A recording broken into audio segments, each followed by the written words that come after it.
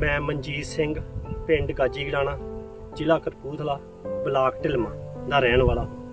ਮੈਂ ਖੇਤੀਬਾੜੀ ਦਾ ਕੰਮ ਕਰਦਾ ਹਾਂ। ਪਹਿਲਾਂ ਅਸੀਂ ਤਾਂ ਹੱਲਾਂ ਤੇ ਤਵੀਆਂ ਦੇ ਨਾਲ ਖੇਤੀਬਾੜੀ ਕਰ ਰਹੇ ਸੀਗੇ।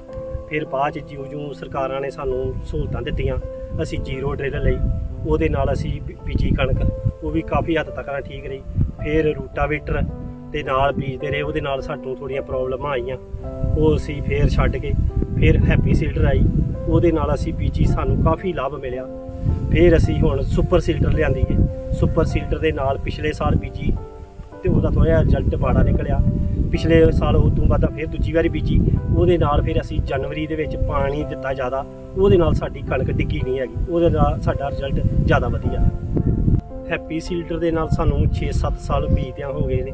ਉਹਦੇ ਵਿੱਚ ਸੁੰਡੀ ਪੈਣ ਦੇ ਕਰਕੇ ਜਾਂ ਸਲਾਬੇ ਦੇ ਕਰਕੇ ਸਾਡਾ ਏਰੀਆ ਥੋੜਾ ਬੇਟ ਏਰੀਆ ਪੈਂਦਾ ਉਹਦੇ ਕਰਕੇ ਥੋੜਾ ਸਾਨੂੰ ਪ੍ਰੋਬਲਮਾਂ ਜ਼ਿਆਦੀਆਂ ਆਉਣ ਰਹੀਆਂ ਨੇ ਪਰ ਉਦਾਂ ਹੈਪੀ ਸੀਡਰ ਸਭ ਤੋਂ ਵਧੀਆ ਰਿਜ਼ਲਟ ਉਹਦਾ ਆ ਰਿਹਾ। 150 ਕਿਲੋ ਪਹਿਲੇ ਸਾਲ ਘੇਰਿਆ ਸੀਗਾ ਅਗਲੇ ਸਾਲ ਪੌਣੇ 200 ਕਿੱਲਾ ਘੇਰਿਆ ਉਦੋਂ ਅਗਲੇ ਸਾਲ 50 ਕਿੱਲੇ ਫਿਰ ਹੌਲੀ ਹੌਲੀ ਸਾਡੇ ਘਟ ਗਏ ਨੇ। ਸਾਨੂੰ ਕਿਰਾਏ ਦਾ ਕੰਮ ਅਸੀਂ 97 ਤੋਂ ਪਹਿਲਾਂ ਸ਼ੁਰੂ ਕੀਤਾ ਪਰ ਹੁਣ ਦਿਨੋਂ ਦਿਨ ਕਿਰਾਏ ਦਾ ਕੰਮ ਔਖਾ ਹੋਈ ਜਾਣ ਰਿਹਾ ਤੇਲ ਦਾ ਬਹੁਤ ਜ਼ਿਆਦਾ ਖਰਚਾ ਹੋ ਰਿਹਾ। ਹੈ, ਜਿਹਦੇ ਨਾਲ ਸਾਨੂੰ ਕੋਈ ਪ੍ਰੋਫਿਟ ਘਟੀ ਜਾਣ ਡਿਆ ਸਾਡਾ। ਫੀਲਡਰ 'ਚ ਮਲਚਰ ਫੇਰਨ ਦੇ ਨਾਲ ਪਹਿਲਾਂ ਮਲਚਰ ਫੇਰ ਲਈਏ ਉਹਨਾਂ ਤੇ ਪਰਾਲੀ ਇੱਕੋ ਜਿਹੀ ਸਾਰੇ ਥਾਂ 'ਤੇ ਹੋ ਜਾਂਦੀ ਹੈ ਤੇ ਜਿੱਥੇ ਜਿੱਥੇ ਹੈਪੀ ਸੀਲਡਰ ਹੁੰਦੀ ਏ, ਉੱਥੇ ਪਰਾਲੀ ਥੱਲੇ ਰਹਿ ਜਾਂਦੀ ਤੇ ਗੰਦ ਨਹੀਂ ਉਗਦਾ ਹੈਗਾ।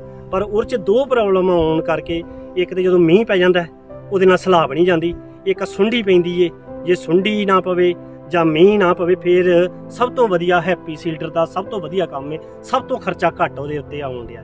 ਉਹ ਤੇ 12 1300 ਦੇ ਵਿੱਚ ਅਸੀਂ ਕਿਰਾਇਆ ਵੀ ਕਰੀ ਜਾਣਦੇ ਹੈਗਾ। ਤੇ ਸੁਪਰ ਸੀਲਡਰ ਹੈ ਜਿਹੜੀ ਉਹਦਾ 27 2800 ਰੁਪਿਆ ਜਿਹੜਾ ਕਿ ਸਾਡਾ 13 14 ਲੀਟਰ ਤੇਲ ਲੱਗਣ ਡਿਆ ਤੇ ਟਰੈਕਟਰ ਵੀ ਸਾਨੂੰ ਘੱਟੋ ਘੱਟ 75 ਹਾਰਸ ਪਾਵਰ ਦਾ ਰੱਖਣਾ ਪਿਆ ਹੈ।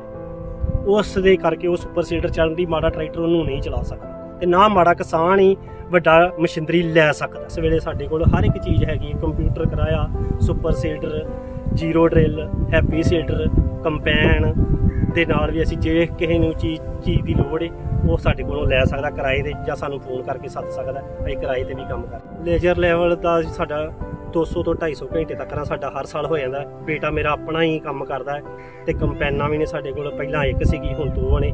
ਪਰਾਲੀ ਨੂੰ ਸਾਂਭਣ ਲਈ ਸਾਨੂੰ ਹੋਰ ਵੀ ਕੋਈ ਸੰਦ ਚਾਹੀਦੇ ਨੇ ਜਿਹੜੇ ਕਿ ਵਧੀਆ ਕੰਮ ਕਰਨ, ਜਿਹਦੇ ਨਾਲ ਪਰਾਲੀ ਤੇ ਖਰਚਾ ਘੱਟ ਆਵੇ ਤੇ ਜਿਹਦੇ ਨਾਲ ਪਰਾਲੀ ਸਾਂਭੀ ਜਾਵੇ। ਤੇ ਲੋਕਾਂ ਦਾ ਵੀ ਜਿਹਦੇ ਚ ਫਾਇਦਾ ਹੋਵੇ ਤੇ ਅਸੀਂ ਉਹਨਾਂ ਦਾ ਫਾਇਦਾ ਕਰ ਸਕੀਏ। ਸਾਡੇ ਕੋਲ zero drill happy seeder super seeder plough ਤੇ ਮੋਟ ਵੱਢਣ ਵਾਲਾ ਵੀ ਹੈਗਾ ਏ ਵਿਛਾਣ ਵਾਲਾ ਤੇ ਮਲਚਿੰਗ ਕਰਨ ਵਾਸਤੇ ਵੀ ਮਲਚਰ ਵੀ ਹੈਗਾ ਸਾਡੇ ਕੋਲ। ਹੁਣ ਅਸੀਂ ਚਾਹੁੰਦੇ ਹਾਂ ਕਿ ਸਾਡੇ ਕੋਲ ਵੱਡੇ ਟਰੈਕਟਰ ਨੇ ਤੇ ਸਾਨੂੰ ਸੁਪਰ ਸੀਡਰ ਵੱਡੀ ਮਿਲੇ ਜਿਹਦੇ ਨਾਲ ਸਾਡਾ ਵੀ ਫਾਇਦਾ ਹੋਵੇ ਤੇ ਜੇ ਅਸੀਂ ਕਿਸੇ ਦੀ ਕਿ ਬਜਾਈ ਕਰਨ ਜਾਂਦੇ ਹਾਂ ਤਾਂ ਉਸ ਨੂੰ ਵੀ ਫਾਇਦਾ ਹੋਵੇ ਤੇ ਨਾਲ ਪਰਾਲੀ ਵੀ ਸਾਂਭੀ ਜਾਵੇ। ਇੱਕ ਤੇ ਸਾਨੂੰ ਟਰੈਕਟਰ 75 ਹਾਰਸ ਪਾਵਰ ਦਾ ਲੈਣਾ ਪਿਆ। ਛੋਟਾ ਟਰੈਕਟਰ ਸਾਡੇ ਕੋਲ ਸੀਗਾ, ਉਹ ਉਹਦਾ ਕੰਮ ਨਹੀਂ ਸੀ ਕਰਦਾ। ਵੱਡਾ ਟਰੈਕਟਰ ਲੈਣ ਨਾਲ ਸਾਡਾ 12 ਲੱਖ ਰੁਪਈਆ ਸਾਡਾ ਲੱਗਾ। ਸੁਪਰ ਸੀਡਰ ਸਾਨੂੰ ਚਲੋ ਗਵਰਨਮੈਂਟ ਨੇ ਸਬਸਿਡੀ ਦਿੱਤੀ 2.5 ਲੱਖ ਰੁਪਈਆ ਸਾਡਾ ਉੱਤੇ ਲੱਗਾ, ਪਰ ਸਾਨੂੰ ਸਵਾ ਲੱਖ ਰੁਪਈਆ ਦੇਣਾ ਪਿਆ ਉਹਦਾ। ਇਹ ਹੈ ਕਿ ਉਹਦੇ ਤੇ ਤੇਲ ਦਾ ਖਰਚਾ ਬਹੁਤ ਜ਼ਿਆਦਾ ਹੈ। ਤੇਲ ਦਾ ਖਰਚਾ ਜ਼ਿਆਦਾ ਹੋਣ ਕਰਕੇ ਸਾਨੂੰ ਰੇਟ ਵੀ ਜ਼ਿਆਦਾ ਲੈਣਾ ਪੈਂਦਾ ਵੀ ਸਾਡਾ ਖਰਚਾ ਨਹੀਂ ਪੂਰਾ ਹੁੰਦਾ। ਜੇ ਤੇਲ ਸਸਤਾ ਹੋਏਗਾ, ਅਸੀਂ ਕਿਰਾਇਆ ਘੱਟ ਲਵਾਂਗੇ। ਤੇ ਸਾਡੇ ਕੋਲ ਹਰ ਕੋਈ ਬਜਾਈ ਕਰਾਏਗਾ ਵੀ ਚਲੋ ਥੋੜਾ ਕਿਰਾਇਆ ਵੀ ਕਰਾ ਲਓ, ਇੱਕ ਤੇ ਪੈਲੀ ਬਣੇਗੀ ਤੇ ਇੱਕ ਪਰਾਲੀ ਨੂੰ ਅੱਗ ਨਾ ਲਾਣੀ। ਜੇ ਉਹਨੂੰ ਪਰਾਲੀ ਨੂੰ ਅੱਗ ਨਹੀਂ ਲੱਗਦੀ ਤੇ ਸਾਡਾ ਕੰਮ ਵੀ ਜ਼ਿਆਦਾ ਚੱਲਦਾ ਹੈ। ਤੇ ਇੱਕ ਪਰਾਲੀ ਦੇ ਨਾਲ ਪੈਲੀ ਦੀ ਤਾਕਤ ਵੀ ਵੱਧਦੀ ਹੈਗੀ ਅੱਗੋਂ ਝੋਨੇ ਦੇ ਵਿੱਚ ਲਾਣ ਨਾਲ ਅੱਧੀ ਖਾਦ ਪੈਂਦੀ ਹੈਗੀ ਹੈ ਤੇ ਝਾੜ ਵੀ ਝੋਨੇ ਦਾ ਵੱਧਦਾ ਹੈਗਾ ਦੂਜਾ ਵੇਖੋ ਵੀਰ, ਆਪਾਂ ਕੁਦਰਤ ਦੇ ਆਖੇ ਲੱਗੀਏ। ਕੁਦਰਤ ਤੋਂ ਜੇ ਆਪਾਂ ਉੱਪਰ ਹੀ ਜਾਵਾਂਗੇ ਤੇ ਆਪਾਂ ਨੁਕਸਾਨ 'ਚ ਰਵਾਂਗੇ। ਜੇ ਕੁਦਰਤ ਪਾਸਾ ਵੱਟਦੀ ਏ ਤੇ ਆਪਾਂ ਨੂੰ ਬਹੁਤ ਨੁਕਸਾਨ ਝੱਲਣਾ ਪੈਂਦਾ ਆਪਣੀਆਂ ਫਸਲਾਂ ਦੇ ਝਾੜ ਘਟਣ ਡਏ ਨੇ। ਹੋਰ ਵੀਰੋ, ਮੇਰੇ ਵੱਲੋਂ ਇੱਕ ਇਹੋ ਹੀ ਬੇਨਤੀ ਹੈ ਤੁਹਾਨੂੰ ਕਿ ਅੱਗ ਨਾ ਲਗਾਓ। ਇੱਕ ਸਾਰੀ ਸਰਕਾਰ ਕਹਿੰਦੀ ਹੈ ਕਿ ਨਵੇਂ ਬੂਟੇ ਲਾਓ। ਆਪਾਂ ਨਵੇਂ ਬੂਟੇ ਤੇ ਚਲੋ ਨਹੀਂ ਲਾ ਸਕਦੇ।